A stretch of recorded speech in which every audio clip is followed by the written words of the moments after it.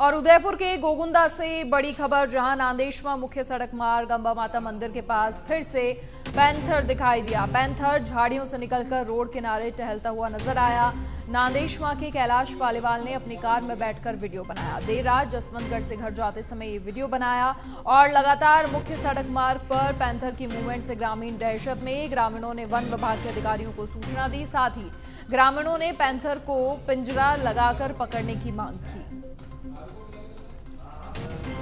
तो लगातार उदयपुर में पैंथर की मूवमेंट देखी जा रही है और ऐसे में लोग परेशान हैं, डरे हुए हैं, सहमे हुए हैं। प्रशासन की तमाम कोशिशें हो रही हैं लगातार कि किसी तरीके से पैंथर को पकड़ा जाए, लेकिन प्रयास भी फेल हो रहे हैं और ऐसे में लगातार पैंथर के मूवमेंट कैमरा में कैद हो रहे हैं।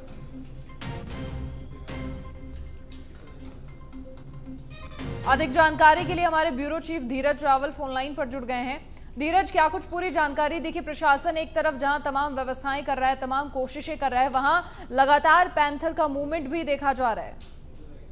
ज़िले के गोकुंदा क्षेत्र के अंदर पिछले दिनों पैंथर के शिकार जो जहाँ सात लोगों को अपना शिकार बनाया था, उसी के मद्देनजर जहाँ प्रशासन है, वो लगातार आदमपुर पैंथर को पकड़ने के प्रयास जो है, वो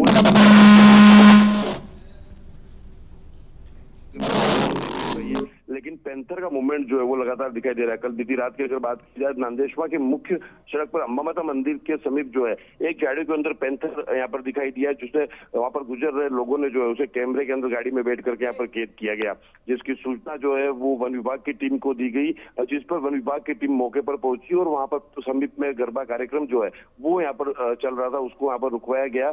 वही पैंथर वहाँ से आँखों से जो है ओझल हो गया। लगातार टीम वहाँ पर पहुँची और वहाँ पर पहुँचने के बाद भी टीम लगातार पैंथर को पकड़ने के प्रयास किए जा रहे हैं और जगह जगह जो पिंजरे हैं, वो लगाए गए लेकिन पैंथर जो है, वो वन विभाग की टीम के हत्या नहीं चढ़ पाया है, जिससे लोगों के अंदर जो भय जो है, वो लगातार बना हुआ है। लगातार जो इन पिछले दिनों हुई घटनाओं को लेकर के कोगुंदा इलाके के अंदर पैंथर को लेकर के दहशत का माहौल जो है, वो लगातार बना हुआ है। लेकिन वन विभाग की टीम काफ़ी प्रयास कर रही है जगह जगह पिंजरे लगाए गए हैं, शूटर्स जो है, वो जगह जगह तैनात किए गए लेकिन अब तक पेंथर जो है, वो वन विभाग की टीम को नहीं चढ़ पाया लगातार वन की टीम जो है, वो प्रयास कर रही है। वहीं ग्रामीणों के अंदर आक्रोश जो है, वो भी यहाँ पर देखने को मिल रहा है कि लगातार एक के बाद एक साथ घटना जिस प्रकार से दिल दिलाने वाली हुई है, उसको लेकर लोगों के अंदर एक भय और एक आक्रोश जो है, वो यहाँ पर बना हुआ है।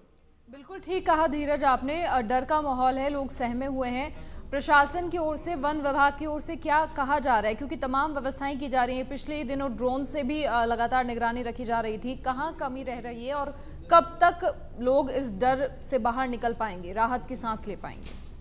बात की जाए तो वन विभाग की टीम जो है, वो लगातार प्रयास कर रही है, लेकिन सफलता नहीं मिल पाई है। क्योंकि अगर बात की जाए तो पिछले दिनों जो बारिश का जो मौसम था लगातार बारिश के चलते यहाँ पर वन क्षेत्र के अंदर जो घासें है, वो यहाँ पर बड़ी बड़ी हो चुकी है, जिस कारण से पैंथर को चिन्हित करना यहाँ पर वन विभाग के लिए एक मुश्किल सामने आ रही है कि अगर पैंथर अगर देखा जाता है तो कुछ ही देर के अंदर जो है वो ओझल हो जाता है। अगर कल की बात की जाए तो कल दिन में भी जो एक नील गाय का यहाँ पर पैंथर ने गोगुंदा इलाके में यहाँ पर शिकार किया था, जिस पर वन विभाग की टीम मौके पर पहुँची थी और चारों तरफ़ पहाड़ी से उसे घेरने का प्रयास किया गया था। लेकिन काफ़ी मशक्कत के बाद भी पैंथर जो है वो आँखों से ओझल गया। तो कहीं ना कहीं एक मुश्किल और एक सबसे बड़ी समस्या जो है वो बारिश के दिनों के कारण हुई हरियाली के कारण भी दिख रही है हरियाली के कारण से यहाँ पर पैंथर जो है शुक्रिया तमाम जानकारी साझा करने के लिए धीरज आपका।